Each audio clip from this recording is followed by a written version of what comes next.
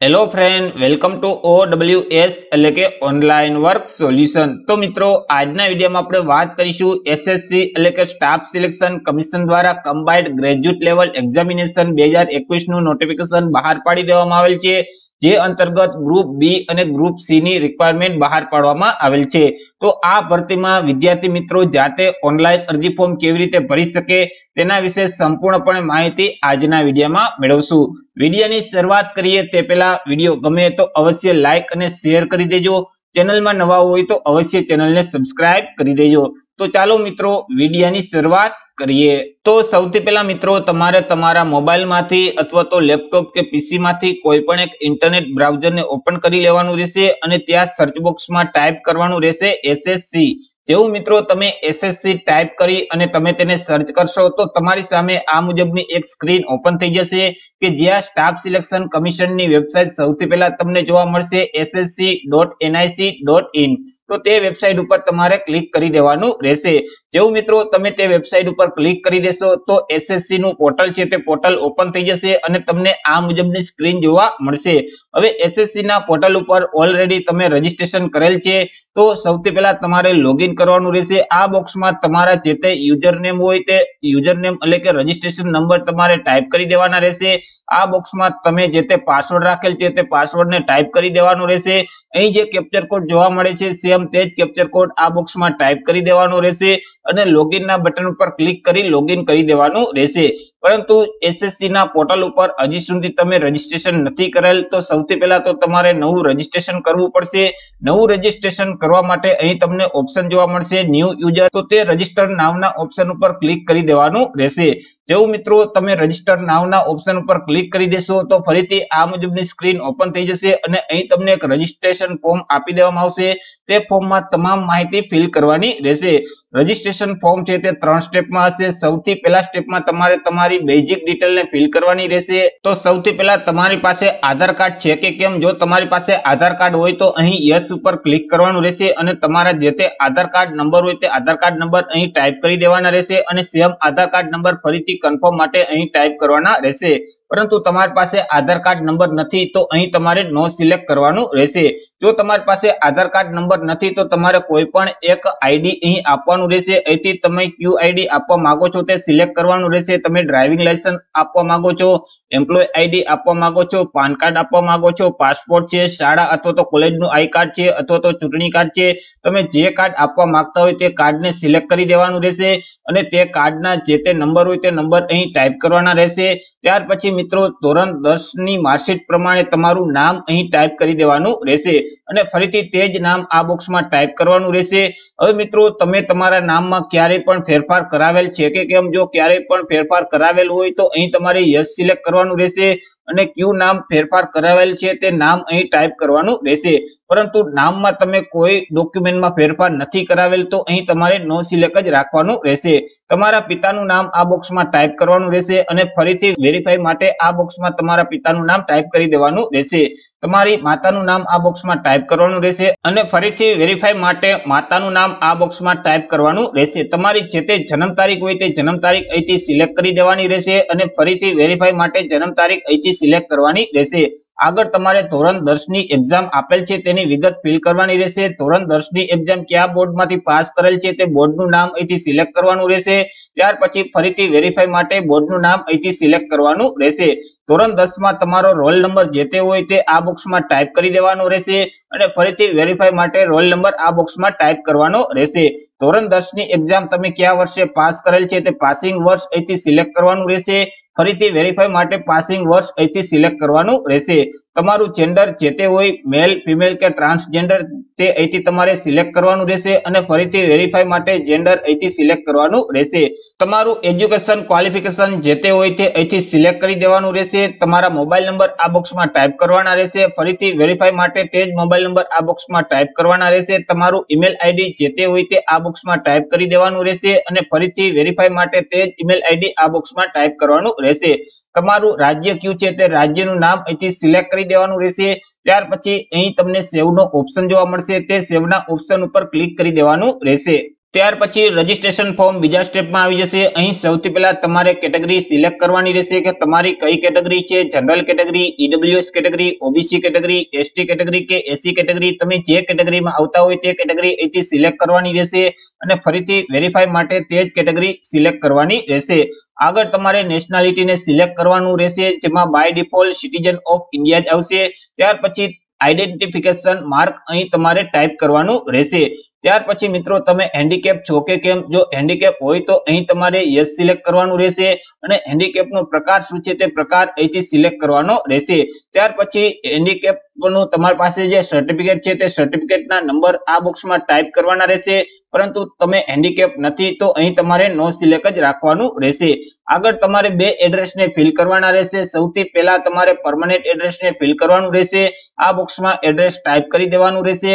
અહીંથી તમારે રાજ્યનું નામ સિલેક્ટ કરી દેવાનું રહેશે. જિલ્લાનું નામ અહીંથી સિલેક્ટ કરવાનું રહેશે. તમે જે તે એરિયામાં રહેતા હોય ત્યાંનો પિનકોડ નંબર અહીં ટાઈપ કરી દેવાનો રહેશે.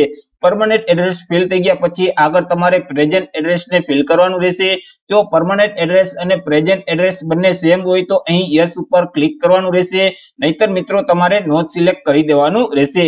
અને તમારે પ્રેઝન્ટ એડ્રેસ મેન્યુઅલી ફિલ કરવાનું રહેશે. આ બોક્સમાં પ્રેઝન્ટ એડ્રેસ ટાઈપ કરી દેવાનું રહેશે. રાજ્યનું નામ અહીંથી સિલેક્ટ કરી દેવાનું રહેશે. જિલ્લાનું નામ અહીંથી સિલેક્ટ કરી દેવાનું રહેશે. તમે જે એરિયામાં રહેતા હોય તે એરિયાના પિનકોડ નંબર ટાઈપ કરી દેવાના રહેશે. ત્યાર પછી અહીં તમને સેવ નો ઓપ્શન જોવા મળશે. તે સેવના ઓપ્શન ઉપર ક્લિક કરી દેવાનું રહેશે. જેવું મિત્રો તમે ફરીથી સેવના બટન ઉપર ક્લિક કરશો તો તમારું રજીસ્ટ્રેશન ફોર્મ ત્રીજા સ્ટેપમાં આવી જશે. ત્રીજા સ્ટેપમાં અહીં તમને એક ડિક્લેરેશન જોવા મળશે. તેને તમારે એક્સેપ્ટ કરવાનું રહેશે. ડિક્લેરેશન વાંચી લેવાનું રહેશે અને અહીં જે ચેકબોક્સ જોવા મળે છે તેમાં તમારે ટીક કરી દેવાનું રહેશે. ત્યાર પછી ફાઇનલ સબમિટ નો અહીં તમને ઓપ્શન જોવા મળે છે. તે ફાઇનલ સબમિટ ના ઓપ્શન ઉપર ક્લિક કરવાનું રહેશે. જેથી કરી તમે જે મોબાઈલ નંબર આપેલ છે અને તમે જે ઈમેલ એડ્રેસ આપેલ છે, તેમાં રજીસ્ટ્રેશન નંબર અને પાસવર્ડ નો એક મેસેજ આવશે. જે રજીસ્ટ્રેશન નંબર અને પાસવર્ડ વડે તમારે લોગિન કરી દેવાનું રહેશે. જેવું મિત્રો તમે તમારા યુઝર આઈડી અને પાસવર્ડ વડે લોગિન કરશો તો ફરીથી આ મુજબની સ્ક્રીન ઓપન થઈ જશે અને સ્ટાફ સિલેક્શન કમિશનમાં જેટલી ભરતીમાં ઓનલાઈન અરજી ફોર્મ શરૂ હશે તેનું લિસ્ટ અહીં જોવા મળશે. હવે મિત્રો, અહીં સૌથી પહેલા જ કમ્બાઇન્ડ ગ્રેજ્યુએટ લેવલ એક્ઝામિનેશન બે હજાર એકવીસ નો ઓપ્શન જોવા મળે છે. અગત્યની તારીખ કંઈક નીચે તમને અહીં જોવા મળશે. હવે આ જે ભરતી છે તેમાં ઓનલાઈન અરજી ફોર્મ ભરવાની તારીખ ત્રેવીસ ડિસેમ્બર બે હજાર એકવીસથી લઈને ત્રેવીસ જાન્યુઆરી બે બાવીસ સુધી તમે ઓનલાઈન અરજી ફોર્મ ભરી શકશો. જો તમારે પરીક્ષા ફી ઓનલાઈન ભરવી છે, તો તેની છેલ્લી તારીખ પચીસ જાન્યુઆરી બે હજાર બાવીસ રહેશે. પચીસ જાન્યુઆરી બે હજાર બાવીસ સુધીમાં તમે ઓનલાઈન પરીક્ષા ફી ભરી શકશો. પરંતુ તમારે એસબીઆઈ ના ચલણના માધ્યમથી પરીક્ષા ફી ભરવી છે. તો જે ચલણને જનરેટ કરવાની છેલ્લી તારીખ છે તે છવ્વીસ જાન્યુઆરી બે છે અને એસબીઆઈ ના ચલણના માધ્યમથી પરીક્ષા ફી ભરવાની છેલ્લી તારીખ સત્યાવીસ જાન્યુઆરી બે છે. સત્યાવીસ જાન્યુઆરી બે સુધીમાં તમે ઓફલાઈન ચલણ દ્વારા ફી ભરી શકશો. હવે મિત્રો આ જે ભરતીમાં તમારે જો એપ્લાય કરવું હોય તો અહીં સૌથી પહેલા જ એપ્લાય નો ઓપ્શન જોવા મળશે. તે એપ્લાયના ઓપ્શન ઉપર ક્લિક કરી દેવાનું રહેશે. જેવું મિત્રો, તમે એપ્લાયના બટન ઉપર ક્લિક કરશો તો અહીં તમને એક રજીસ્ટ્રેશન ફોર્મ આપી દેવામાં આવશે. તે રજીસ્ટ્રેશન ફોર્મમાં તમામ માહિતી ફિલ કરવાની રહેશે. પરંતુ મિત્રો, તમે રજીસ્ટ્રેશન કરતી વખતે જે તે માહિતી આપેલ છે, તે માહિતી અહીં ઓટોમેટિક લઈ લેશે. તેમાં તમને કોઈ પણ પ્રકારનો ફેરફાર કરવા દેશે નહીં. નીચે મિત્રો, તમારે સ્ક્રોલ કરવાનું રહેશે અને સૌથી પહેલા તો તમારે એક્ઝામ સેન્ટરને સિલેક્ટ કરવાના રહેશે. તમે ત્રણ એક્ઝામ સેન્ટર ક્યાં રાખવા માંગો છો તે સિલેક્ટ કરવાનું રહેશે. તો તમે જે તે પેલું એક્ઝામ સેન્ટર રાખવા માંગતા હોય તે સૌથી પહેલા સિલેક્ટ કરવાનું રહેશે. ત્યાર પછી તમે બીજું એક્ઝામ સેન્ટર જે તે રાખવા માંગતા હોય તે સેકન્ડ નંબરમાં સિલેક્ટ કરવાનું રહેશે. ત્યાર પછી ત્રીજું એક્ઝામ સેન્ટર તમે જે તે રાખવા માંગતા હોય તે તમારે સિલેક્ટ કરવાનું રહેશે.